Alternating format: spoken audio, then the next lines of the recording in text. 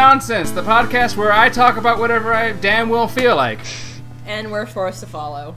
Yes, I am joined by uh, longtime friends of me, uh, my good friend. Uh, oh crap, that's right. I meant to tell you guys. I prefer using real names if that's not an issue with you. Eh, that's alright. Whatever. Alright, I'm off. Later. I, Okay. I, I actually can't leave. I'm, I'm chained to the couch. All right. He's tying you down. You're gonna talk about Nintendo villains, damn it. All right, so let's try this again. All right, we're coming back in three, two, and welcome to Whims and Nonsense, the podcast where I talk about whatever I damn well feel like. And we are forced to oblige. Yes, I, I am joined by longtime friends of myself, uh, my good friend uh, Steven, Hello. Uh, my other good friend uh, Abby, Hi. and my third good friend uh, uh, Dingus. Friend is a relative term at this point. Oh. And on today's episode, the, the inaugural episode of what's probably never going to see the light of day, uh, we're going to be talking about some of our favorite Nintendo villains. All right, savvy? yeah. Savvy. Savvy. Savvy. Whatever that All right, means. and, and I think we can all agree the best Nintendo villain ever to have ever come out is clearly Bowser. Dusknoir. Uh, let- Let's try that again. It is very clearly Bowser. D- Dusknoir. Okay. Uh, we seem to be on different pages here. Uh huh. Alright, uh, so, uh, I'm gonna be a gentleman. I'm gonna let the lady speak first, so Marty, make your case. What? I don't want to go first. No, let's let's let let's let Neville's go first. Okay. Fine.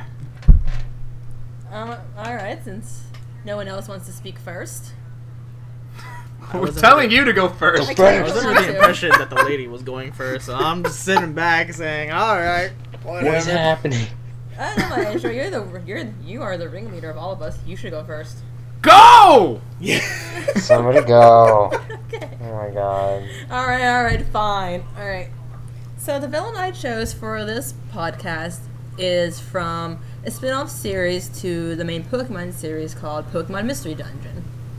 Now, it's not the most common thing in the world for Pokemon to have like any outstanding villains, but in the Mystery Dungeon series, they actually come up with some villains that are, are actually pretty good out of what I've seen at least.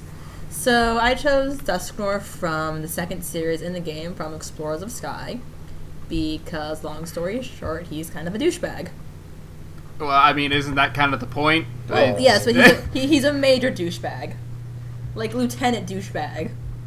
D- does does he Loot. does he impede the mystery of said dungeon? I've never played a Pokemon mystery dungeon, so I have no idea what he does not about. impede the mystery of the dungeon, but he Well, tries. he- But he tries to bring the. Wait, wait, is he the mystery in said dungeon, at least?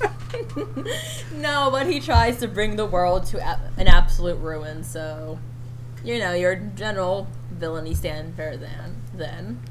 But Alright. basically, his main goal is to make the world paralyzed, which essentially means time doesn't, doesn't pass. And you, That's, that's kind of new. yeah, Alright, And- alright. We'll, uh, uh, I'll let you save your arguments for a little bit later. Let's move Yeah. on to Mr. Marty. What, what have you, what have you got for us? All right, so uh, I chose Kefka from Final Fantasy VI, which in the United States is Final Fantasy III. And the reason I chose him, well, I guess there's a couple different reasons, but the main reason is that he pretty much achieves his goal. Like it's basically your typical, s- like destroy the world fair, but like he's one of the only like villains that I've ever seen in a video game that actually does it, and like doesn't like get killed until after he's already destroyed the world. I guess. Uh, So so basically, you're saying he technically succeeds, even though he does eventually die. Yes. Okay. Interesting. Uh, um, Steven, Yeah. you're up. Alright, so Don't let me down. I mean, I chose my main man Ganondorf, and I guess whoever wrote uh, The Legend of Zelda took a page out of freaking Final Fantasy because Ganondorf is also a successful villain, considering that he destroyed the entire world of Hyrule first and ruled it for all of a puberty time. Well, yes, but I was going to say, which um, which Ganondorf are you doing? Which Yeah, incarnation? uh, oh, yeah, that's right, because the whole multiple timelines thing, right? Uh-oh. And then Well, each game you is its see- own separate thing. hmm Uh, I'll go with Ocarina of Time. It's probably one of the more well-known ones. Okay. All right. But yeah, so like in Ocarina of Time, he actually does what he's supposed to do, and then Link has to grow into a man, which you know takes countless years. Yep. And uh, yeah, so Ganondorf, he does things. All right. Uh, and I've got to go with my main man, uh, Bowser. I he technically hasn't succeeded uh, compared to the people like uh, Kefka and Ganon. Sure, and, and as much as his main goal is to what take over the Mushroom Kingdom, Yeah. but I would argue that he is probably the most successful villain in spite of his repeated failures. But I'll save those arguments once we get into the nitty gritty. All right. All right. So let's go ahead and start with the two guys whom you guys say have actually won, essentially. All right. We're, let's start with uh, Kefka. So what was his what was his plan? What was his goal? I mean, basically, he just wants to like become a god and destroy the world. Okay. Uh, Pretty now- pretty straightforward. All right. Alright. I'm not I'm not too well versed in the Final Fantasy dumbness. Uh, so, and, and so you said he succeeds essentially b- before the game in and of itself ends, before the story ends. yes. How did he do that? Oh gosh. Uh, I don't remember. I haven't played this game so long. I just remember that he does it somehow. Somehow. Ugh. He collected the seven Dragon Balls, in which he also uh, fought Cloud and Sephiroth at the same time, who are conjoined twins, mind you. And as he fought them, he realized the only good power in the world is love and peace, and therefore became the god of love and destroy the world. Sounds accurate. A- I Out mean, of his guess passion for all things and the and the world, of course. Of course, of course. I mean, that didn't. I didn't think that had to be said. I'm sorry. I thought yeah. it went without saying. Well, this uh, this is a debate. All Well- things must be stated. Mm-hmm. All right. okay, so basically, like he's this like magician type clown looking guy, and Mhm. throughout the course of the adventure, while like the main characters and everything are getting stronger, he also gets like way stronger, and he kind of goes around and like sabotages like this army. He kills a bunch of people, and then he tries to. I don't remember. Like he tried to kill somebody, and So, so basically, you're saying, as far as like typical video game villains go, he's actually surprisingly effective. yes, Okay. Is he a constant presence in the game? Like, does he keep periodically showing up, or? I think what so. Yeah. yeah or is he just okay? Because I know, uh, at least compared to somebody like Ganon, he's just kind of like at the end. He's what you're fighting towards. Yeah. Um, but okay, so and we're gonna use this to segue into Ganon now, because like, so you said Ganon act- technically succeeds in his in Ocarina of Time too. In Ocarina of Time, he technically su- succeeds. Yes, because. Thank you um, for spoiling the rest of the game for me. Yes, Not that spoilers, we're ever gonna get back to it. No, it's we're doing the time warp, man. Um, so yeah, so basically, what happens with Ganon is there's this like prophecy with the Gerudos. He's from the Gerudo clan of thieves, which is an all-woman clan, and every hundred years a male is born, and they name him Ganondorf. It's like a tradition, apparently. All right. So he's like the evil equivalent of Link. Essentially, yeah, Yeah. because every single time Ganon is born, there is a Link equivalent that is also born, and also a Princess Zelda by uh, conjoined Triforceness. Right. So, um, apparently, the Gerudos were cursed by this evil god who just is like full of hate. That's and he and so every time the Gerudo male is Ah, ah, ah, born, yes. Hatros, of course. Hatros. yes. Um, but so he embodies basically the the male and get and the male is born with the Triforce of Power, which doesn't help because with hatred and power never goes well Nah, as far never. as good uh, is concerned. So in Ocarina of Time, you are introduced to Ganon very early on in the game. Like you just see him and he like looks at you very sinisterly, and Yeah, you and already he, know he took did the the girl princess. Yeah, he took he- did the he girl kidnapped Zelda. princess at at one point. No, he didn't kidnap Zelda. He He tried kidnapped to. someone. He he yeah he was looking for the Ocarina of Time because he wanted to go grab the Triforce, the Right. actual thing of power or whatever. But yeah, so what actually, so he, and to use that, Link grabs the Ocarina of Time and opens what Ganon needed, and because Link did that, Ganon goes in, takes the power he needs, controls Hyrule for however long Link Seven. is. Is it seven years? I thought Link, so. Link sleeps for seven years. Yeah, you know, enough time for puberty to happen. What a lazy bastard! Hello. Seriously. And I thought he I was slept lazy. through his own puberty. That's that's talent. That is talent. Link is a talented young man. He also got his ear pierced at some point during his sleeping. I think I would like to think it was like a wild party, but I digress. Probably. No, may, maybe Ganon, he, like he knew where Link was this entire time, and he just went into the temple and f- just started fucking with him. He's like, and you're gonna your ear pier your ear's gonna be pierced. You're not gonna be left-handed. You're gonna be right-handed for the rest of your life. It's like, uh, yeah, but yeah. So basically, while Link is sleeping for seven years, Ganon has taken over Hyrule, and basically everyone in the game uh, world that you are in is forced to move to this one little village. Everything else is just decimated. so oh, sounds like a classy fellow. All right. obvious. So both Kefka and Ganon ha- have points toward their favor in this, in as much as they, they've actually succeeded in at least one of their plots. Uh, for better or for worse. All right. Yeah. What about uh, you, Miss Abby? What what what is your is your character a success story He- or an abject failure?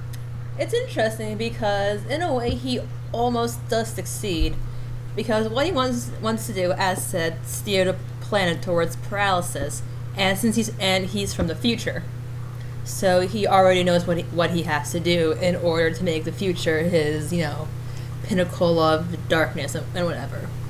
So what happens in the climax of the game is that he takes the hero Pokemon and their partner, you know, he plays a Pokemon in the game, and drags them into the future. And the future is when, when you get there, it's this bleak, dark, desolate land. N- morning, morning never comes. The wind never moves. It's just silence and this is uncomfortable air all around. It, it sounds like a recurring theme. Yeah, but but then what you discover is that instead of Dusknoir just leaving you in a in a prison cell in the future, is he has plans to execute you and your partner. That you got that a point you and your partner are blindfolded, and then when the blindfolds are taken off, you and your partner are tied to a stockade, and you're about to be ripped to, ripped to shred by his minions, and that's his his, his grand scheme to stop you guys from saving the world, is just straight up murdering you guys. Because it's also heavily implied he probably killed anyone else who stood in his way. Because there's this one scene in the game that still has st- st- um, stuck with me this whole entire time, is that you and your partner managed to escape from being executed, and you're running along this, you know, mountainside or whatever, and off in the distance, your partner sees this little collective bunch of lights, the only light you see in the future. And your partner's like, these lights are really beautiful, but it's probably a stockade where more executions are taking place.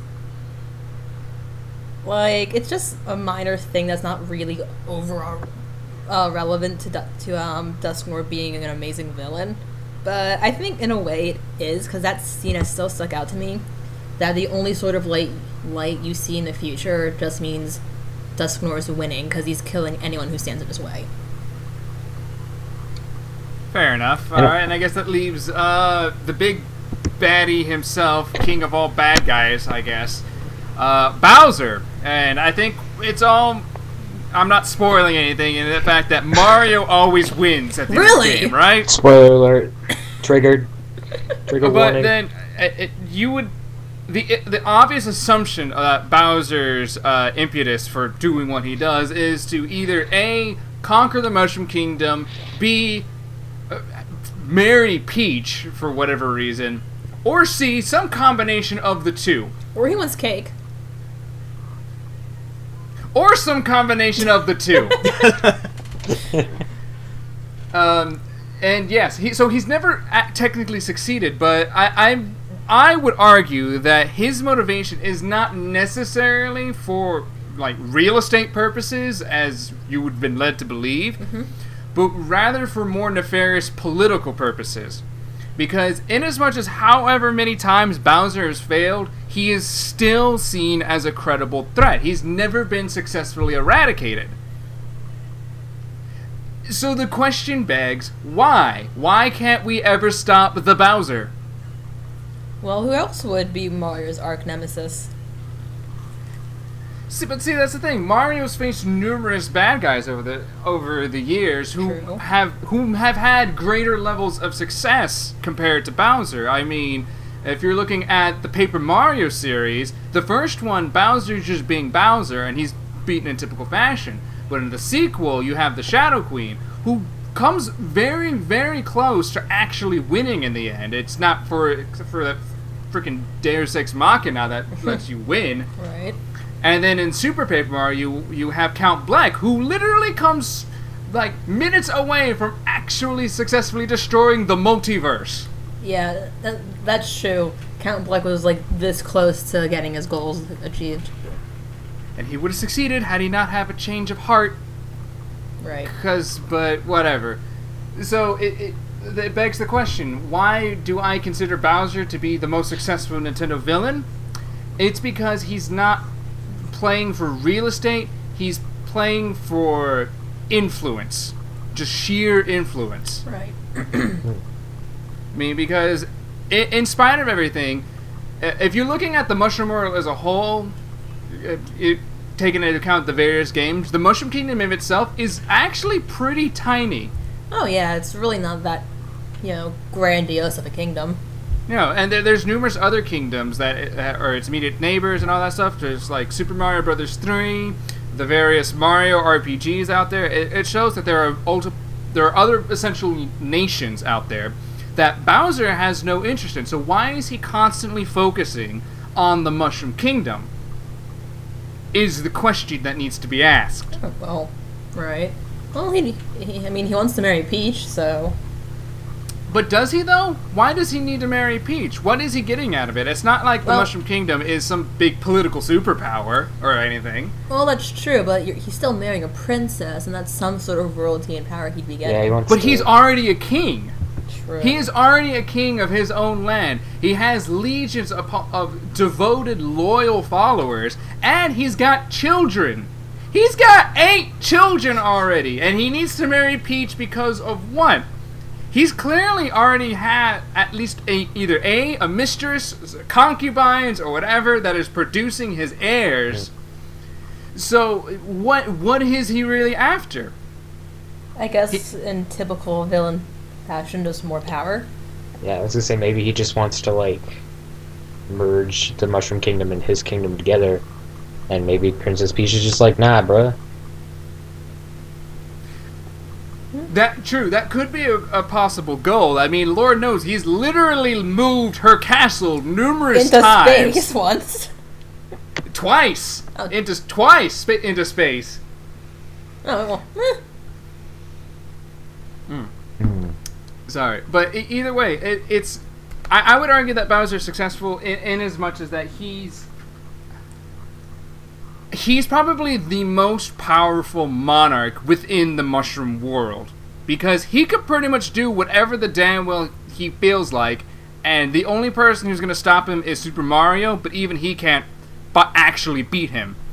So Right. I would argue that Bowser isn't acting for any real you know, like meaningful gain. I would argue that he's acting out of sheer boredom. Probably. And when you're boredom and bored- infatuation. Yeah, and, and when you're bored, anything is entertaining, and when you're entertained, ultimately you win, right? Sure, I suppose. Right? Eh. sure. But like, All right. but like like in the end, if he's still never actually any real threat, then it doesn't he doesn't seem like su- such of a scary super bad guy. It's just some minor annoyance that has to happen every once in a while whenever Bowser feels like it. Other in terms of you know Dusknoir, who was trying to create Apocalypse Now. but that's true. That was his, that's his goal, and it's like his goal isn't just for the heck of being evil. It's that he, is that why he's so evil and wants to um you know not want the heroes to succeed. Is that he's afraid of death. That he knows if the heroes succeed and change the path of history by making sure time won't freeze, then he doesn't he doesn't die because his existence will continue on as long as the world comes into ruin. So it's purely selfish and self-sustaining. He's really not doing it for any other good of the world. He doesn't care if he's Well- the last Pokemon on Earth. I, I, I He's still think alive. that, that that's that's just a given for most villains because they're ult- most villains ultimately act for selfish reasons though. Right. Wh- whether it's I need to protect myself, the people I love, or what I think I'm doing for the greater good, in spite of clearly not greater good I'm doing. Right, but he still think, but he, but I don't think he realizes, you know, making the planet paralyzed is wrong. He's just blindly obeying, um, his you know his his boss essentially, because he wants to be you know, think of it like oh I, I'm a useful mook and I can, you know, get the job done, and it doesn't matter what happens.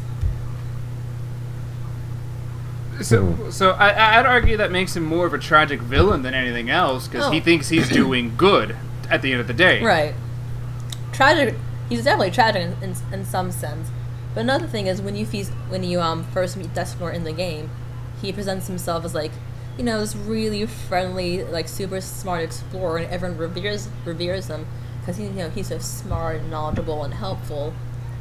And like right before he's, like he sets up a whole entire lie to say no, if you if you guys do all this thing, the planet will be paralyzed, which is the opposite and right before he leaves to the future is when he grabs you and your partner. So the whole entire time he fooled everybody into believing that he was good, and that when you and your partner get back from the future, they don't believe you at first because like, but Dustin was a hero. Why should we? Why should we believe you guys? Alright.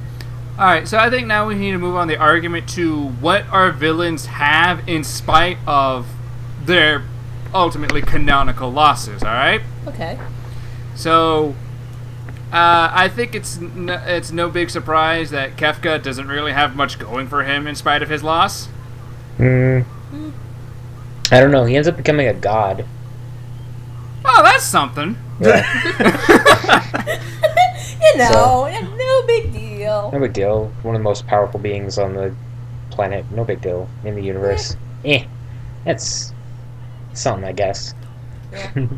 What what is what does he do with that, or does he have an opportunity That's to do like anything with it? what it? he does. Like, so I, um, from what I remember, he like tries to find this floating continent that has these three statues on it of these like demons that had this big war like long time ago or whatever. I have a question. What is with all these JRPGs and their fascination with floating continents? That- they look cool. I don't know. They had to show off the cool Mode Magic. 7 graphics of the SNES or whatever. Ooh, yeah, Well, Mode could al- Seven. I was gonna Yeah, say, well- you, you can also ask what the uh, fascination with JR- JRPGs is, and um, the main villain being God being defeated by the power of friendship. yeah. But, like, the power of friendship shall smite all gods. But yeah, so like he finds these statues and he destroys them or, or whatever, and then he gains the power to become like the god of magic or some shit like that. And then Wait, whoa, whoa, whoa, whoa, whoa! The god of magic. I think so. Magic. It's magic because So he's what like is that like? It's like, and I'm gonna turn the magic on. I'm gonna turn the magic off. Back on. Back off. I don't know. On off. Well, to be fair, a lot of Final Fantasy attacks are magic based. Yeah, So if you turn off magic, like- they're screwed. yeah. I don't know. So So he then gun an like arm. he gets this power, and then he's like, "All right, now I get to warp reality and destroy everything. Whatever, it's cool. And then like, so he like splits the world up into like a bunch of pieces, and then like watches over all these people and people that like don't like him or whatever. He just like kills them. He just like he just like sends a gigantic light beam down from his place and it's just like you're dead. Whatever. Do do do the other gods and the, the Final Fantasy pantheon even care? Because I know there are other ones, but like this dude, like he just became one. He's the newbie of the group, and he's just doing all whatever he wants. And these and the other ones are like, eh, yeah, whatever. let him have his fun. Eh, Well, let I mean, let, uh, let the new guy do what he wants to do. Uh, to be fair, uh, if comparing it to the Greek pantheon, you know, most of the guys they didn't really care what each other was doing as long as it wasn't interfering with their jacked up machinations. I don't know, just killing people willy nilly and splitting up the entire world seems like it could mess with at least one of their problem, one of their plans. But gods probably do, do that all the time, so he probably wouldn't be entirely foreign. This is the It's seventh just like- time this world has been split. This Yeah. week, Or maybe Yeah. the sixth. It's like man, it's like I, you can't plan a vacation in this place anymore. no, he can't. Uh, I I was gonna go to the Bahamas this weekend, but then some space god just took it away. It just went woo. Fortunate. And now the Bahamas is nothing but pebbles. Oh man. Alright. Uh, so Ganon, what are his successes in spite of his overall failure? In spite of his overall failure? yeah. okay. Um, he's got a sword.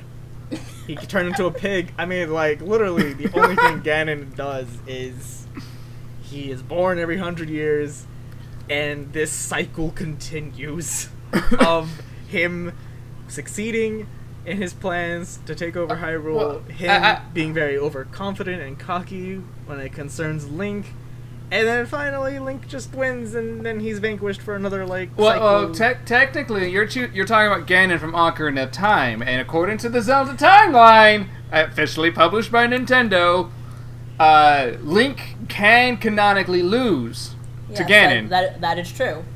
There is a timeline where Ganondorf kills Link. which leads to uh, Majora's Mask, if I'm not mistaken. Nope. No. When Link gets killed, that leads to the um, like the first like the SNES era of games. Oh, so Link to Yeah. the Past. Yeah. Okay. A Link to the Those are Past, Link- the I- I'm first not Zelda too- game. Majora's Mask is on that timeline, but Majora's Mask is supposed to be Child Link succeed. Child Link succeeding. Yeah, uh, is it Child Link succeeding? Yes. Yeah, because it's like a direct sequel to Mm-hmm. Ocarina, I think. I'm pretty sure. I'm 'Cause, not like, entirely sure. From but- what I remember, I'm like pretty he sure. he defeats it- Ganondorf, and then like he goes off on some adventure to find someone. I just But- know that Majora's Mask is way too depressing to be I- a very I happy sequel. I, I was under the impression that Majora's Mask was li- basically Child Link being dead. Mm. Like that. That was kind of like he's dead. Have an adventure. Yeah. Uh, well, but no, no, uh, but the the Zelda timeline is a debate for another time. Yeah, I- the Zelda I timeline is, is in itself an entirely messed up thing. We But- can have a debate about that in the future. All right, or e- even still. So, but Ganon's main uh, motivator is just his quest for power, right? Absolute power. He wants to become part of the gods, basically. Mm-hmm. And in order to do that, you need to collect all the Triforce pieces. And 'Cause, that I is mean- his only mission. Because in most of the games, at least, he he succeeds in collecting at least two of them, right? Yeah. And he Yeah. needs to defeat Link for the third. Yes. Yes. So, um, uh, so if he technically succeeds at the Ocarina of Time, then that's it. He's met his end goal. He wins, only to be defeated in the se- the follow up. Essentially. Essentially, Mm-hmm. yes. He will succeed, and then it rinse and repeat. Essentially, So it sounds to me like he's just uh, stuck in a, a, a vicious form of Groundhog Day. it's a very bad time for him, man. Every single time he wakes up and hits the alarm clock, he's like, "Ugh, have to do this shit again." Maybe that's why it seems like every time he encounters Link in this game, he's just so like nonplussed about it. Like, oh, and you're Eh, here. this to- shit again. Whatever. Yeah. Let's, let's get this over with. Ah. Oh Yeah. no, you have defeated me. What a shock. For real. Because This like hasn't happened even- before. You are the real hero of legend. I'm going back to sleep. Oh, Whoopi. See you in a century. Because there's even a part in in the Ocarina of Time that always like I guess got me. At first, I was always thinking that maybe it was because Ganon was, I guess, a, a master tactician. Because remember, I said Link got the Ocarina of Time and opened up the temple, right? hmm And that's Yeah. what Ganon wanted. Well, Ganon knew Link had it, Right. but at the same time, I was like, how did he know? He didn't see them throw it in there. There's no way he should have known, unless he's just rinse and repeating this whole entire thing. It's just like, all right, I met the kid. I know what's gonna happen next. Let's just get this over with. Oh God, that's that's unfortunate. So basically, Ganon has nothing else going for him. It's either he wins, or he's got to do it all over again. Essentially. Yeah, it really is. It's. I mean, Ah, that is that is just really, really uh like Dante esque kind of punishment. Hmm. uh, yeah. Yeah. He turns into a pig. That's cool. I mean, then. uh, Oh, yeah.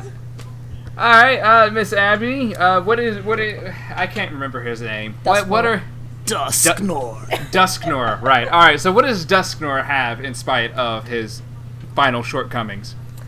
Well, like I said, I mean, technically he does win at first. The only reason he failed is because you're is because the hero and the partner managed to go back in time and convince everyone that Dusknoir was evil. If they had failed in doing that job, Dusknoir would have achieved his penultimate goal, which is, you know, the paral- um, Paralysis paralysis, of paralysis of the world. Because, I mean, if, if you think about it, that, you know, you and your partner, hero and partner, change the future, which results in a different timeline in which Dusknoir is erased from existence because that future isn't going to exist anymore. So, oh, okay. So basically, what happens is he wins, and then, nope, sorry, Yeah. that's it, it's over, bye. I mean, in a way, it's weird to say. If I think if he didn't drag the hero and the, par- and the partner into the future, they never would have known. So that was his first first mistake. If he had kept the path as set normally, his victory would have been assured. No one would have been able to do anything because they wouldn't know the truth. So he sort of set up his own downfall because he didn't see that there were still a few allies in the future that would, would help you and your partner, would help the hero and the partner get home. So, could you say his like one major downfall, I guess, was rashness because he didn't think about it. He was like, I want to get this all done over with faster. Yeah, because he, because his goal was like, if I get the hero and the partner out of the way and you know tossed in a in a prison cell and executed, they can't stop the future from happening. When they probably wouldn't have stopped it from happening in the first place if Yeah, he had never been there. because they wouldn't know what they, what they were doing because what they were doing to save the uh, planet from paralysis was wrong and that they didn't know the correct way to fix it so even if they knew oh no this isn't right they still wouldn't know how to get to the place to fix it and how to fix it So, so not only is he a tragic villain, but he's a Greek tragic villain. yes he is My his God. own downfall. Oh, I don't know how to tell you this, but it sounds like this guy was not very successful at all because not only did he take measures that led inevitably led to his final downfall, but it also led to him unexisting in the process. yes but i still think I, but uh, Well- that's what i think is interesting about him even if he's not like the most super evil mustache twirling villain he's one of the most interesting All right, I can give you that because it's not like you know Ganon's very interesting in comparison. Look, man, I, I turn into a pig. I am all sorts of bacon for you. Oh, you turn it. You turn into a pig. I turn into a god. How about that? pig god eh I'm sorry, but if I had I- to choose between a god and bacon, I gotta go with bacon. Ooh, Fair point. I would go for the bacon. ooh. Bacon But that- is delicious. wait, I, Nope, nope. Case closed. Okay. I, I got I got spikes in my back. Ooh, you have a lot going for you there. Well, I mean, in actuality, Bowser kind of does have a lot going for him in spite of everything. Like I like I brought up before, he's he runs a very successful kingdom, but almost single-handedly. Uh, he's got children, which means he's got a family that that basically has not been messed with in the entire longevity of the Mario series, right?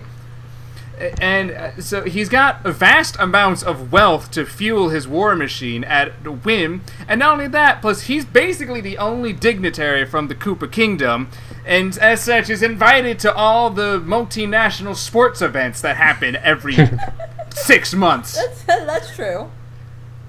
Eh, So it's like Bowser, in spite of all his failure, he like like I said, he doesn't necessarily need to win. Uh, it's only when like he actually has big, super ambitious goals that there's something at stake. Like in Galaxy, where he literally tries to take over the entire universe, and comes pretty close, all things considered. If it wasn't for the space goddess Rosalina basically saying, "Nope, Yeah. stop." And what else? And not only that, plus he actually teams up with the hero, quote unquote, on numerous occasions. That's true. So, i- in spite of being seen as the terror of the lands for the Mushroom Kingdom and its people, he's he's still respectable enough to know, like, all right, at least we know this guy can get shit done. So, like, uh, Bowser never loses, is I guess what I'm trying to say. At the end of the day, He just never wins. Right. Like True. You don't- well, no, he actually wins when he pairs up with the ba- with the uh, with the good guys, though. Hmm. Right, but he has to. Well, that's kind of more guys. out of He really can't do it on his own. yeah. It's kind of more out of necessity, though, right? No, they go to him. He doesn't go to them, though. I- i- If Bowser was left to his own devices, he'd be just fine doing whatever else, letting that thing play out. Because you also have to realize, with the exception of maybe Super Mario RPG and Super Paper Mario, he has no real reason to get involved. True. hmm What All about right. like? uh... Ah, never mind. Uh, a- and that's another thing uh, I almost forgot. Bowser's got other bad guys working for him. Like he's got a plethora of of villains in his horde, Yeah. I guess. Horde. He's a hoarding His problem. bossy. Because like what he's got King Boo, which is Luigi's nemesis, in his back pocket. I think in some in some degrees. I don't know. Their relationship is bizarre to me. One's dead, the other one's a turtle. I don't understand it. It's kids these days. They send each other Christmas cards. Right. That's about it. Something, something about possessing his dead body. I don't understand it. Uh, Uh, well, you know. All right, all right. Well, I think we've gone on at length about our particular choices. Let's let's kind of move on to some of the other more notable Nintendo villains, like um, Mother Brain, uh, S- Samus's uh, ultimate nemesis. I mean, you could also argue Ridley to an extent because he he's got more of an actual. Uh, a, a, a more definite history. right. Ridley, I would say Ridley's more of the rival, Yeah, like the arch rival, more than a nemesis in a Right. sense. Because uh, Mother Brain is the leader of the space pirates, and is if I'm if I'm understanding the cor- the canon correct, it's technically a possessed, or not a possessed, but a, like like an infected supercomputer that once worked for the Galactic Republic or whatever they call themselves. hmm Essentially, it is. It, it it's it's basically Terminator, except in space. So oh, so HAL nine thousand. HAL 9000, exactly. Like, it literally is, it's like, if I remember correctly, it's been a while since I played the game, and I never really, I guess, read up on the canon, essentially. But, like, you're going through this old place, and it's just like, when you fight Mother Brain, it's very daunting. And it, it essentially is supposed to be a computer program gone wrong. hmm It's, Okay. A- And it, I I think, as such, it, because it is essentially a computer calling the shots, it's pretty effective when it comes to time to like the you know the actual intergalactic warfare, right? oh, yeah, Because- it's calculated. Because it, it within its machinations, um, it's i- its ultimate goal is to take over the galaxy or whatever, right? Or, or just to be the supreme. I think Intelligence. Supreme ruler, yada yada. Yeah, I think so. Right. All right, and it he comes pretty close because throughout the uh, the Metroid series, it's something of like a virtual standoff between uh, the the Republic or whatever and the space pirates, right? Mhm. hmm and because uh, Mother Brain is technically defeated in Super Metroid, right? Yes. Yes. Like, like Mother actually Brain- defeated. Yeah, Mother Brain's gone after. A- and then uh, Other M undoes all that, right? Other M. It didn't undo that Mother Brain was dead. It just kind of prolonged it. I think, like in Super Metroid, you, it it was confirmed, Mother Mother Brain died, but another M, like you got a little bit more backstory. Mother Brain lived for a little bit longer, and then Other M finished, and now Mother Brain is again dead. Well, I, I, and well, I would think that that actually stands to reason that why Mother Brain is so effective because it because it is necessarily a computer virus, a program. It can technically live on as long as there's something it can attach itself to, right? True. Yeah. So, I'm think my opinion of the overall Metro series until we get another installment, which probably won't happen for like another 25 years. Hmm. Uh, other Yeah. M's go, uh, uh, Mother Brain will come back. Yeah, and I think there's probably a little bit more of hints too in the uh, Metroid Prime series as well to, to like Mother Brain coming back because in Metroid Prime you're you're not necessarily hired to be fighting the pirates anymore. They're just coming after you out of sheer spite at this point, right? Right. like in Metroid 'cause, Prime, you you find well, cause, you're on their ship.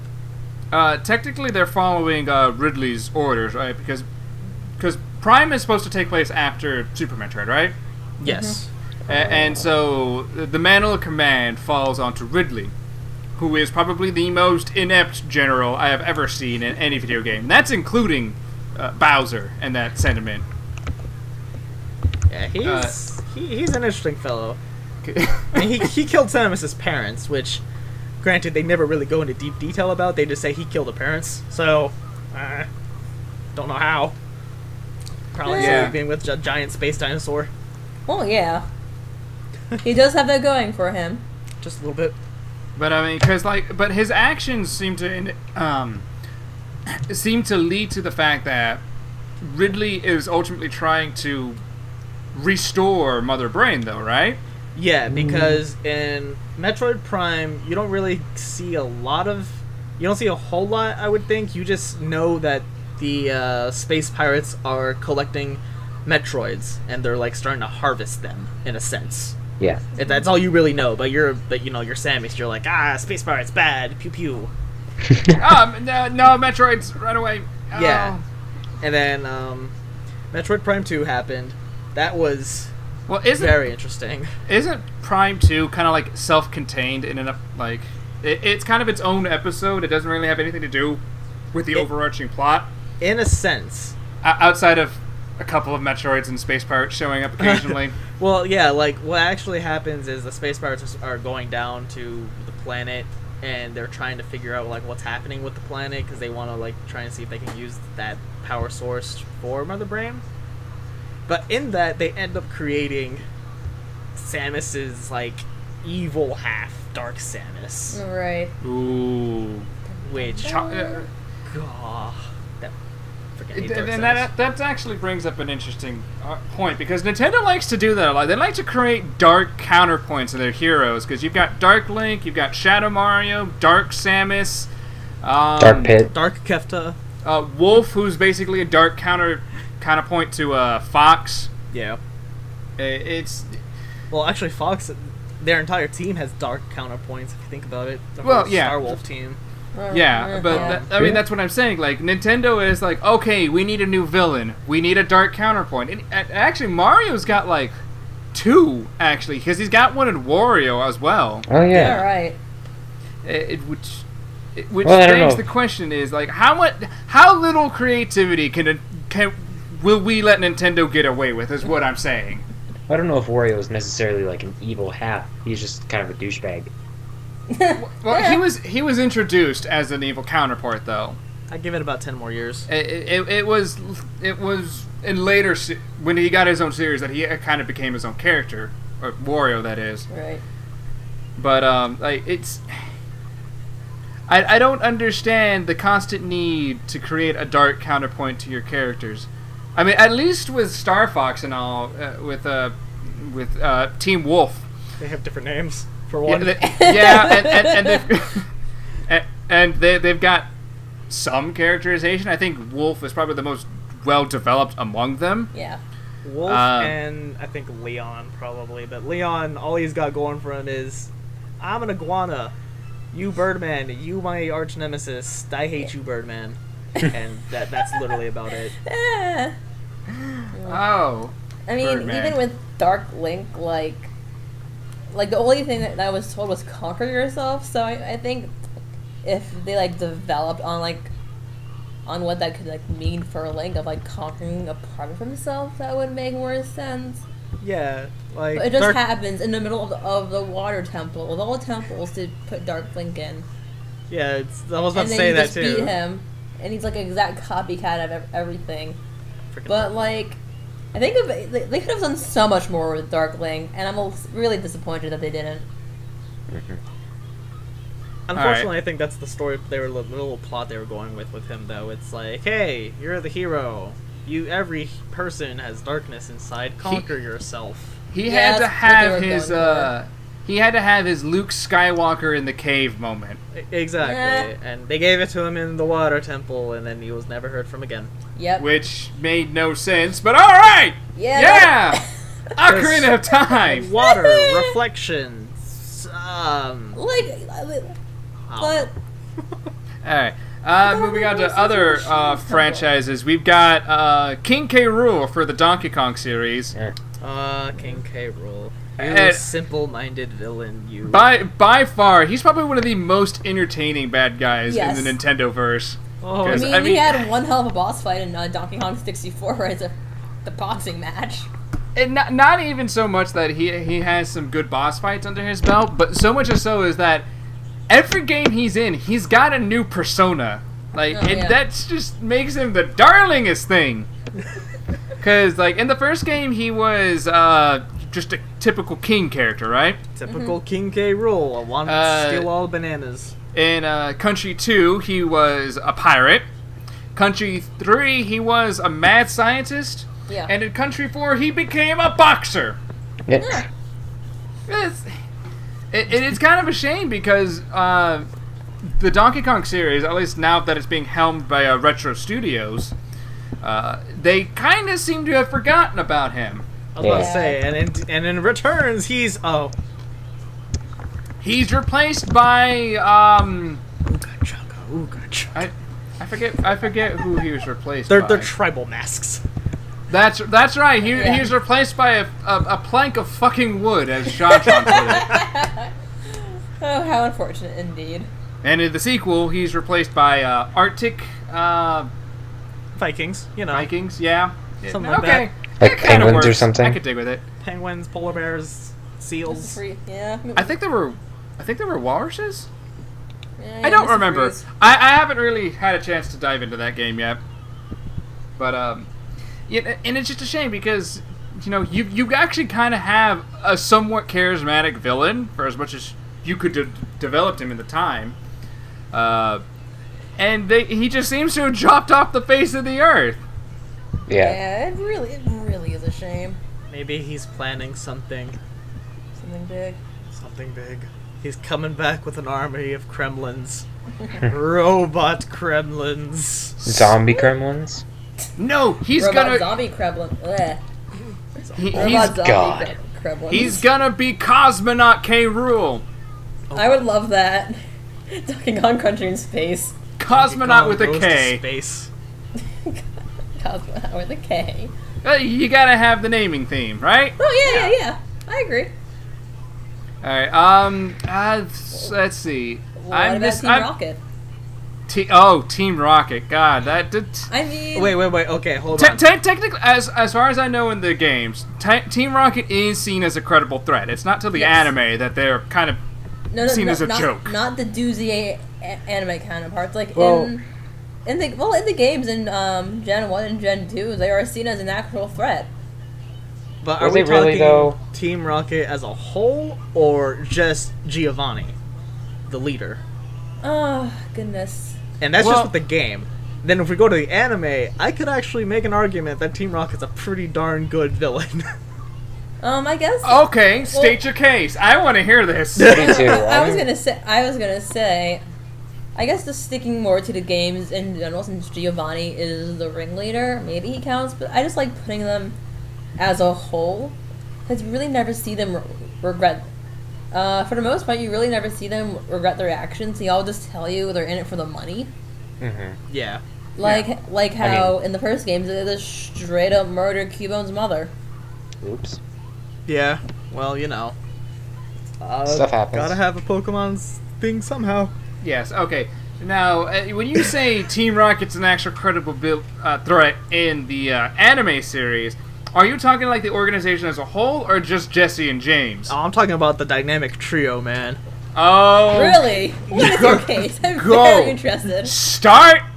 Have at it. All right.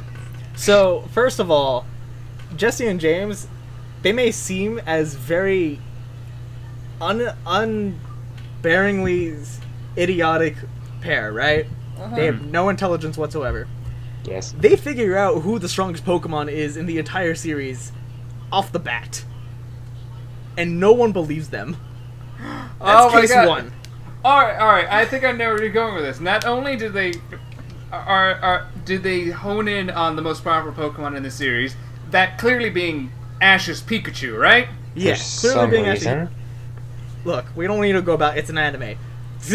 I mean, let's the, the, the Tiger's thing. powers. The Pikachu has brought down living gods in the show, right? He yeah he took he took down he he helped take down Mewtwo, mm-hmm. who spec- who was genetically made by Giovanni to be the perfect Pokemon. That that's what that's what he was made to do, mm-hmm. and he t- he helped take him down, even though he was battered and bruised. We're not gonna go into that power friendship whatever. um, he helped in the fight to stop the three legendary birds. Mm-hmm. And then he helped again when frickin' Lugia needed help. So Wait, like wait, Luke, isn't that the time one? no, No. that's not the time one. Lugia was the is supposed to be the the sea bird, the sea legendary. bird Okay. thing. See, I, I I don't know thing one about Pokemon. I can only recognize the big names, yeah, right. which which are the ones on the box. Lugia was on a box. Wasn't he? He was Yeah, on. that's He was on silver Yeah, and that's Soul. Silver. Soul Silver, Soul Silver. He also had his own movie, Pokemon 2000. That's probably what I'm confusing it with. Then, yeah. You know. Okay, and after Pokemon 2000, I've never watched a single other uh, Pokemon movie, but I'm pretty sure Pikachu was the main person who fought, like, let's say, Darkrai, Oh, uh, Arceus, The Dark Uh, Boy is a bad guy. uh, Arceus, Okay. who's the god of Pokemon, apparently. I'm pretty sure Pikachu had something to do with that. I'm just saying, Pikachu apparently is like Arceus' like pet po- pet project or something because Arceus is just like, how powerful can I make something? Mm. Pikachu. So what, so what you're saying is Pikachu is the Goku of the Pokemon anime series. yes, yeah, pretty much. that is a perfect comparison. Oh. Okay. Super Saiyan and- and- Pikachu confirmed.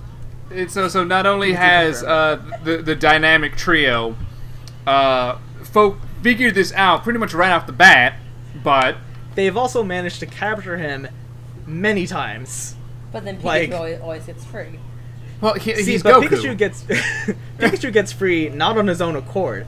They have they took into account the fact that he was an electric Pokemon. They made things stronger than his steel tail could break. They made his cage Pikachu proof, and they caught him. Yeah. But what always happened was Ash was being a jerk because Ash is too dumb to catch any of the legendary Pokemon and just wants his best friend Pikachu. I don't know why.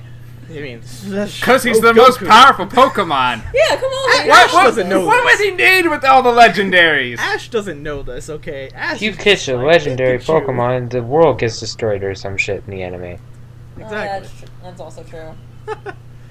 So, I like to me these two, how however much comedic performances they give, they are successful many times. They always have their iconic "I'm blasting off again" uh, scheme, but then they also have these other things where they steal everyone's Pokemon around them, and until they see and it's going perfectly fine. And then they see Pikachu, and then their brain gets turned, gets flipped from evil genius to, "Dur, we need to go capture the strongest Pokemon in the world." And that's when everything goes wrong for them. So I think that they are perfectly credible, just villains and threats to the Pokemon world. They just have a very bad time whenever I think they have like PTSD with Pikachu now. they just every time they, They- see him, they just have they go into All, like all they know how to do is capture the Pikachu. They can't do anything else.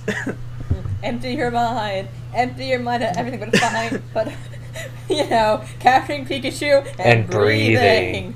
breathing. All right. It's, okay, I can buy that argument. All right, so Ah, yeah. so a- anime Team Rocket, maybe w- they deserve a little bit more credit. Maybe. while, Right. game, while Game Team Rocket is essentially just a bunch of gang, uh, Pokemon gangsters. Alright. That's Uh, so uh, other Nintendo villains, uh, to so we can kind of start rounding out this list. Um, Luigi has his nemesis in the form of King Boo. Uh, now Luigi, over the past 15 years more or less, has developed this characterization of kind of being a scaredy cat, but still in true Mario fashion, getting the job done because it needs to get done, right? Yeah. Yeah. So he has in his foil uh, a ghost, King of the Ghosts. And uh, if you've played either, really, if you've played both of the Luigi Mansions games, you would know that King Boo is probably one of the most credible threats in the Mushroom Kingdom that has ever been. Uh, because he's a ghost, he can't die, right? Right. Right. Yeah. So, in a technical sense, he can't be stopped. It's not if not for Egad's portrait thing, majigger. Poltergeist. Right. So, and Close not only that, plus he, he's powerful enough to have kidnapped Mario twice. Oh, true. Ma- Mario, the the superhero of the Mushroom Kingdom, Didn't uh, kidnapped, imprisoned, and then taunted at in both games. Get wrecked. And none of that, plus he also has some unearthly, undead, cosmic ghost powers that allows him to change the very fabric of reality. Well, uh, uh, those are your th- them ghost powers. And he's only relegated to two games. Yeah. It's Yeah, I mean, he is too powerful for for this um mortal sphere. I think that's what Nintendo was going for. Is let's Yeah. create this really powerful villain and have him be stopped by the seemingly weakest hero of our of the Mushroom Kingdom. that he had strength all along. Well, it's Oh. not. It's not like he can actually do things he's particularly skilled at, like the running and jumping and everything else that he's that he's otherwise well known for as being a Mario brother, right? No, they give him a vacuum cleaner and tell him get to work. Ah, Rip. Clean up this place, mister. I want it spot clean by the time I get home. In four days. uh, boy. I, I, we're missing a villain, aren't we? I'm thinking. Uh, I can bring up a not. Well, you guys think I could bring up another villain that technically it's like a Final Fantasy type villain. Uh, Is can it, with- is it a Final Fantasy villain? No, it's not. It's uh, Sigma from Mega Man. oh, Dr. Wily. Yeah. Oh yeah, that's And- right. and that Dr. game we did once. That game we did once. We can. Uh, Dr. Wily and Sigma are both villains from. I guess Dr. Wily would probably be the better villain to argue because Mega Man was entirely Nintendo. Like the Mega Man Mhm. series was nothing but Nintendo. Mega Man X Yeah. had it split off. So if we argue Dr. Wily, Dr. Wily was a pretty uh, interesting villain, if I do say. he pretty much stole the idea from Doctor Light, Yeah. right? Yep. He, Uh, he steals Doctor Light's ideas, and, And, and he basically corrupts them to make the uh, the Robot Masters. yeah, Yeah. Corrupts them and, and weaponizes them essentially. Which and gives them Yeah. the most creative names. Gutsman. Well, I guess when you have to make a giant robot robot army, making names is a you know a fourth is you know, you- an afterthought. You also have to understand English isn't his first language. That's true. It's not. But also, I mean, you're making robots, so it's like, how creative of the names can you get? It's like, all right, robot X49, go over there. A robot. Yeah, I mean after a while you're, you're gonna run out of names, so it's just best to keep a you know a safe a safe naming pattern. safe, simple naming pattern. Something But man. man, but so Dr. Wily essentially would have won, right? Mm-hmm.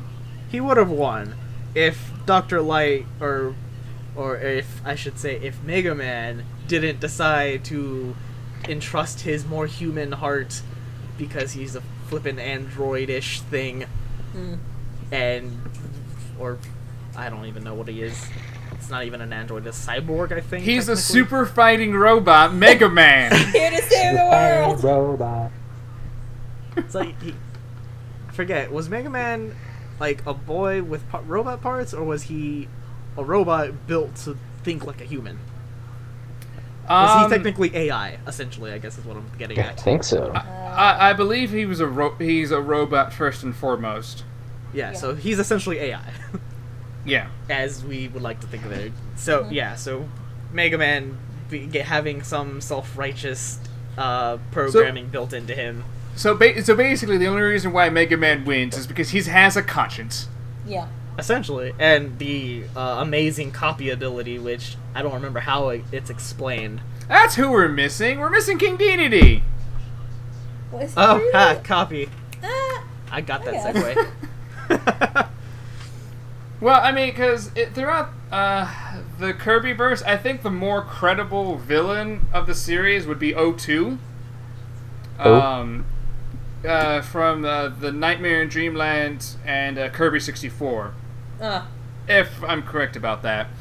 Uh, uh, basically, his entire MO is to take over the dream world and then later the universe. For Because, let's face it, what, you're a villain. What else are you going to do? yeah, that's true. And, and as far as you know, he's not really as iconic as opposed to somebody like DDD or Meta Knight, at least in terms Right. of the Kirbyverse. But um, it it it's interesting in the fact that he's probably one of the darkest villains that Nintendo's ever made because he's kind of terrifying. Yeah, he. I just Uh, looked a him up. He looks kind of scary. Like, cause I I mean, cause Ganon's got the whole pig wizard thing going on. Bowser's a dragon turtle. Is this thing you know. crying blood? Yes, yes, In a it is. Kirby game? Oh my god. It's- it's, it's, it's, it's crying ketchup. We gotta censor it. We gotta For censor for the kids? kid. We gotta censor for the kids. yeah, because there's a lot of kids that to be listening to this. I, I, I was referring to the um, you know, To crying- four kids. Ketchup. You Yeah. know. But I, I, and especially compared to people like DDD, who's kind of a joke, all things considered, Yeah. because he's uh, he's only a real credible threat in like the first Kirby game, more or less, and that's I about think it. More, more of um, you know, a comic relief villain. Yeah. Yeah, I was about to say, like, isn't his whole shtick is I don't like Kirby, let me try and murder him for the first one, and then after that he's just a nuisance from them Either on? that or he's really hungry and ends up taking Kirby's cake. And then Kirby's is like, Kirby's like, "Fuck you! I want my cake back." And guy Well- cuts a bloody swath through the world to get it back. Because I mean, in Kirby 64, he's his friend. So yeah, and in like Return to Dreamland too, I think. And then, like, Begrudgingly. They still are friends. Is the point? it's funny because Begrudgingly. it's funny because Yeah, so many times point. you can throw around begrudgingly until it just starts panning out to okay, man, you like me, I get it. But begrudgingly, though.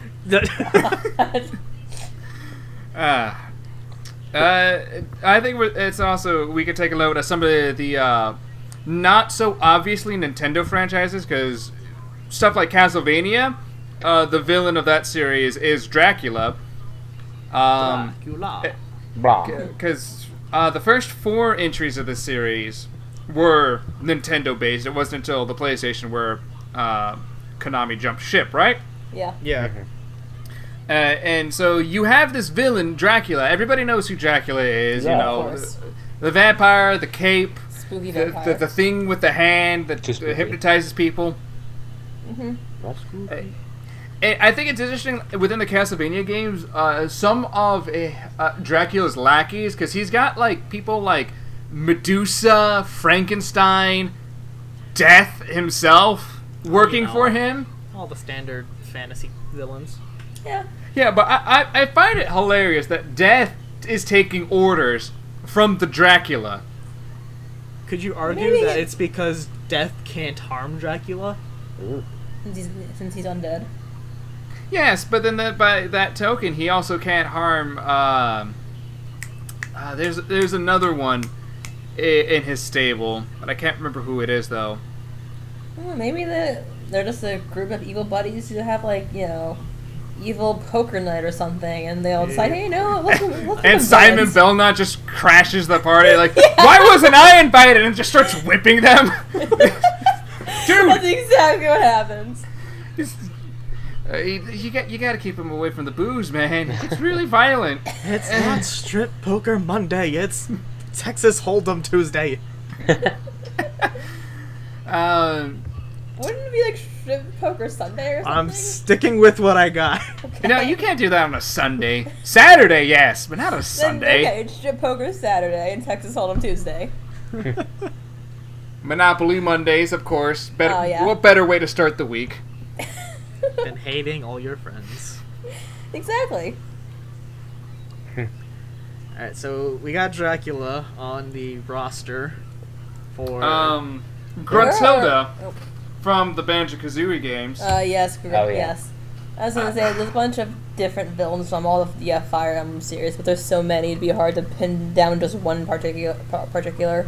Yeah, because uh, Rareware a- actually has a great history of creating some really entertaining villains. I mean, Grunty speaks in rhyme the whole entire game. That is very Uh, impressive. she speaks in rhyme for the first game, right? There's, Yeah. there, there's a thing in the sequel. There's like, cut that shit out. And she's like, ah, fine, Yeah. Whatever. Oh yeah, well, but you, but my point is she could keep going on with it. Oh yeah, I know. The writing for her is fantastic. I and love what's it. what's the greatest thing is the escalation of what is at stake from the first game to the second game. Because from the first game, her entire plot is I need to be the fairest of the land, so I'm going to steal the beauty of the fairest in the land and make it my own, right? Right. She, she I mean, she just It- wants to be pretty. It's it's pretty typical fairy tale esque stuff, right? Mm-hmm. The- and so Banjo Kazooie, they defeat her and whatever. Then some time passes. She comes back in the sequel, and the entire stake is sucking the life out of the world entire. Eh. You know. Well, She had a lot of time to think when she was underground, man. And that, The pressure of the dirt got to her. it, it, it, it's just so ludicrous like how drastically different the tone between the first game and the sequel is. And it is just a two year gap. Because when the first game came out people uh, uh, like it's now since hailed as a classic. Most people at the time saw it as a mario 64 knockoff right? Yeah. but like it was a very family friendly kind of fun esque adventure you know much in the in the vein of the donkey kong series and some Right. of their other uh, work like the early Conker games and then you turn around in what was it ni- it was either 99 or 2000 in the sequel no it's 2000 mm-hmm. A- in the sequel and then it starts off by literally killing off one of the main characters of the first game Yeah, that Oops. was so sad. Just It, it's just such a sheer turnaround. It's like somewhere but after 1998, Rare had a thought is like, you know what? We're too family friendly. Let's turn it up to eleven. Let's start killing a bunch of our characters. because the same thing happened with uh, Conker's Bad Fur Day. Oh, oh God. And, and Aw. speaking of comical villains, Conker has what two in that game. He's got the Panther King, who's really has nothing to do with the plot whatsoever. he's just kind of a vague antagonist. And then you have his right hand man who literally creates Nazi teddy bears. Nazi teddy bears. This game. Well, it's also the Great Mighty Pooh, which is you know just a singing pile of poop. Yeah, but thing is, Get- the thing is that he was just minding his own business, and then next thing you know, this squirrel wanders into his home. I know, but he gets points for at least the most you. unique, vi- interesting villain I've ever seen. Yeah. he is the Um, great and mighty Pooh, and he will throw his shit at you. Don't And, you mess uh, with him. and as far as uh, recent villain entries go in the Nintendo verse, we have uh, probably one of my more favorite games of recent years, The Wonderful 101. Oh, Uh, yeah. I don't know if any of you guys have played it. I haven't I have played it, but I've heard good things about it. Right. I heard it uh, was wonderful. yes, quite. Um, the entire idea behind the game is that um, you're basically in charge of a team of people and tasked with protecting the world from an alien invasion for the third time. And and it goes on, and uh, the way the writing is, it's some of the most tongue-in-cheek, over-the-top parody Oh, you can probably call it uh, loving homage to like old, the old monster, Jap- the old Japanese monster movies and Power Rangers and stuff like that, with the giant Okay. robots and monsters. And um, the main villains in this game make up the this this confederacy more or less uh, called Geathjerk. And they each have their own well fleshed out backstory and chief among them is this a guy named uh, uh, Prince Vorkken, who's probably the the most uh, charming uh, villain Nintendo has produced in recent years. Well, tech it's technically Platinum Studios, but Nintendo nonetheless. And because he's basically uh, a fallen prince from a, from a conquered world by these guys, who's been tasked to help with the invasion, right? A- and every time you encounter him, he and the main character, uh, Wonder Red, constantly get into a dialogue trying to just basically have him explain his backstory, only to be interrupted by the contractual obligation to fight one another. Okay. And, and as it's going on, it, it, is- it is so clear in the writing that uh, Prince Vorkken is only doing this because he needs somebody more or less to defeat him. And the way he's going about it is very much, you know, like, I don't take you uh, very seriously as a credible threat, so I'm going to toy around with you for an hour and then just go on about my business. Have a nice day. and then you go on to fight more giant monsters and all this. It's really a fantastic game full of a bunch of fun and colorful characters. Hmm. Yeah, Very colorful. Yeah. it sounds good. I'd play it yeah, one day. after I pick up Splatoon. I am. I'm kind of running out of villains to talk about. Did I F think, I think we did, covered. did F Zero have a villain? Uh, Yes. did it? Oh Yes. It- aren't there racing games? They are, but I was gonna The say GameCube the one, uh, yeah. isn't the enemy li- the enemy- GameCube one had a villain. Yeah, Black Rhino, Black Shadow, I think. Black Black Shadow, Black something. Yeah, Don't quote me on the second part of his name, but he was the villain. I don't remember what his purpose was, what his objective was. to Don't- um install to a be an speed limit. asshole. to install a speed limit, yes, in a video game about going over 200 miles. Per Exactly. hour. That's how is that the not? A, how is that like not the requirements for like, like the ultimate bad guy in a racing game? You must go 30 miles per hour. So he is apparently the Uh, king of evil, Black, Black, Of course. Shadow? Ganondorf. according to this. This, Black- this Black is a Shadow. racing game. Yes. The, the literal king of evil. The king of evil is I- racing. racing game. I take that back. There thought. is another racing game that actually has a villain in it, and that's Diddy Kong Racing. Whiz Pig. Oh yeah. He's got the evil pig wizard. Yeah. Gan- He, know he may or may not be cousin. related to Ganon. I don't Yeah, know. No, well, you know, Ganon gets around, man. He's got a whole millennia to think out how he's gonna change his life. It, it's But- just like one time he, he comes out of his otherwise coma, and it's just like, you know what? Fuck this. I'm gonna take up racing. I was Yeah. gonna say, but like, I can't remember Wizpig, Wizpig doing any actual villain villainy.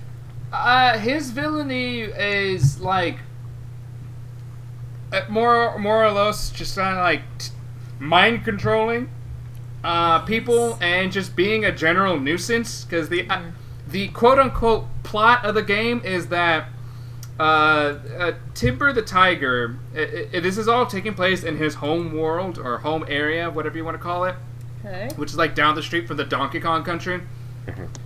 Uh, and the Wizpig uh, basically invades while his parents are on vacation and says, "This is mine now. Race me to defeat me." And then you're just alright. told to go at it. Like you don't even know that much. That's just what they say in the manual. Yeah. Remember manuals, guys? Yeah. God, I feel old. I miss them. I did think of one other villain that we may or may not have skipped over. Uh, All right, and- and- this can be our last villain of the night. Go ahead. So we didn't talk about Andross. Oh yeah. Oh, Oh, that's right, Mr. Space Monkey Head. yeah, Mr. Spake Monkey. Spake? yeah, that's what he is. Spake monkey English. head. Spake Monkey Head. Um, okay, let's dial it back a bit. so Andross's deal was he's an evil scientist that got banished to a planet, hmm and then he killed Fox's dad. And Peppy won't let Fox forget about that. and and as far as I know, Andross is just trying to get back at the Republic for banishing him. As far as like I know, his whole thing is a revenge story. Yes, okay. And um when did he become a giant head? Sometime between his banishment and after killing Fox's dad. Okay. Cuz is like mm, I've only ever played Star Fox 64, right? Yeah. Right. So that's the extent of my Star Fox canon.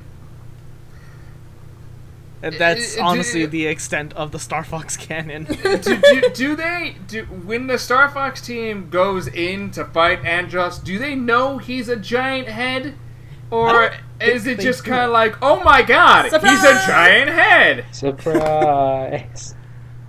I think it's honestly a surprise because I don't think.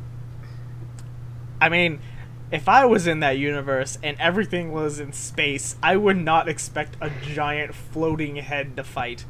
And then, and when you beat it, when you beat Star Fox 64 in the hard version, or the hard route, and you unlock the true ending, not only is he a giant head, he then becomes a just a giant floating brain that shoots electricity at you. Oh yeah. It's even weirder. Yeah. Hmm. So all in all, Andross is like a space monkey deity, apparently. Space monkey deity. He's a O- floating head. Only in Nintendo. he's a floating head, and he's smart, and he just went mad with science. A- and then he got into his own head a little bit too much. A little, just Uh-huh. a teeny tiny bit. I'm Oh good. God, this- Eh.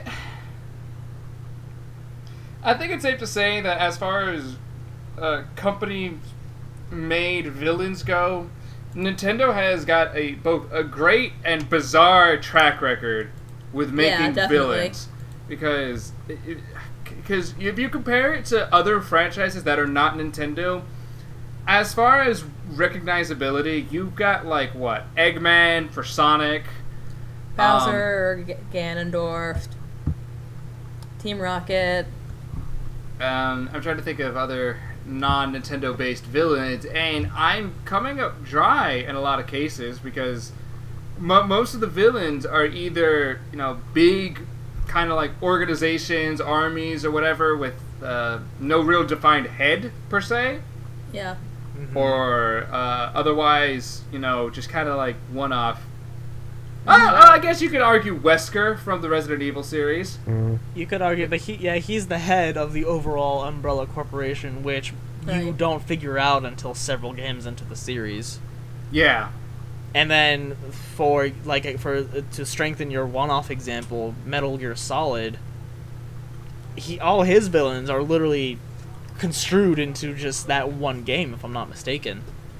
It's like every single game he has a new villain, maybe from an overrising or overriding like corporation, like we're saying, yeah. but it's like they're shelling out like new villains every single Right. time.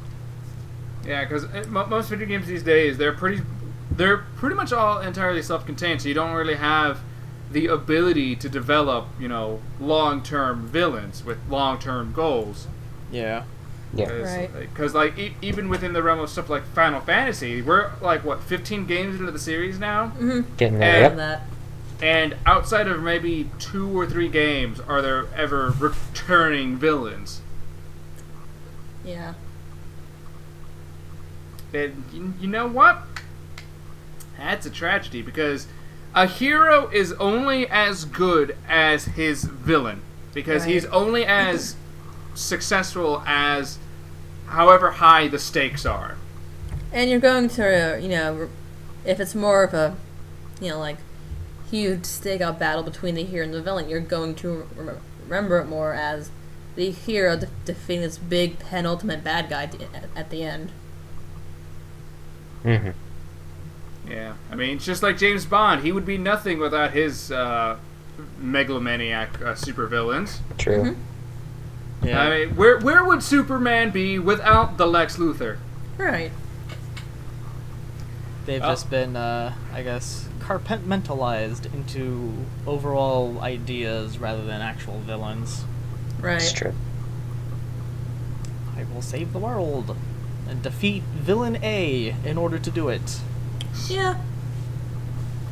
And then after that happens, villain B will come up maybe, or maybe villain Yeah. A will come back. Who knows? Yeah. Well, I think that's going to do it for this episode of Whims and Nonsense. I think we're all in agreement that, yes, in fact, Bowser is the most successful villain of all time. Why do you have to win? Because it's my that. show. Fuck you.